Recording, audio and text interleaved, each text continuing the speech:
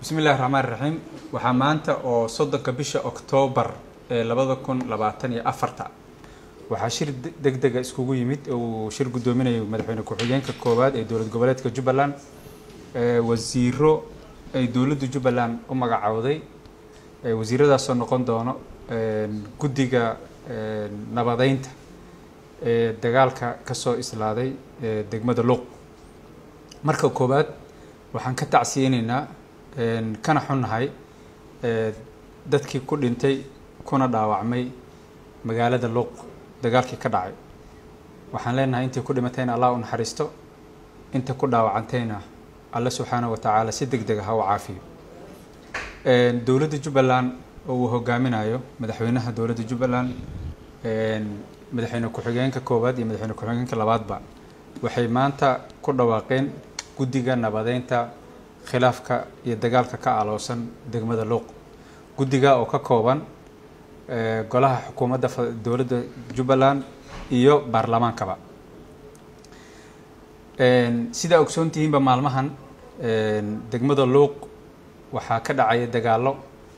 Dagaaladaasoo dad ehel ah walaalo ah wada degan deegaanka wada leh ay ku dagaalameen. Dagaalkaas oo si yaroo fudud ku bilowday meesha uu maanta maraayana aan u wada jeedno dagaalka dowladda jubbaland waxay ka qaadatay kaalimo. Kaalintii koowaad waxaa soo hogaamiyey nabadeynta madaxweyne ku-xigeenka koowaad waxaana laga gaaray natiijo wanaagsan. Madaxweynaha dowladda jubbaland wuxuu dhigay gogol magaalada kismaayo sida la wada socotaanba waxaana laga gaaray is-afgarad wanaagsan. Is-afgaradkaas iyadoo la gaaray ayaa haddana waxaa soo laabtay shaqaaqo. Waxaan ugu baaqaynaa mar labaad mar saddexaad iyo mar afaraad in dagaalkaas la joojiyo shuruud la'aan dhiigga daadanaya xilliganna uu istaago.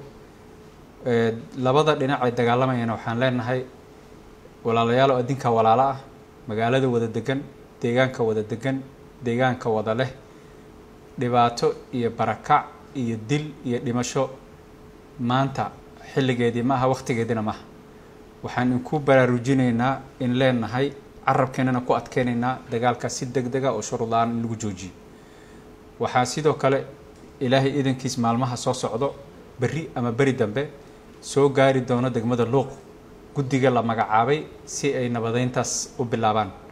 Waxaan ka codsanaynaa inaad ilaahay hadduu yidhaahdo ka qayb qaadataan dowladda jubbalandna. Waxay diyaar u tahay mar kasta habeen iyo maalin inaysan ka daalin colaadaas in la joojiyo degmada luuqna lagu soo celiyay nabadeeda.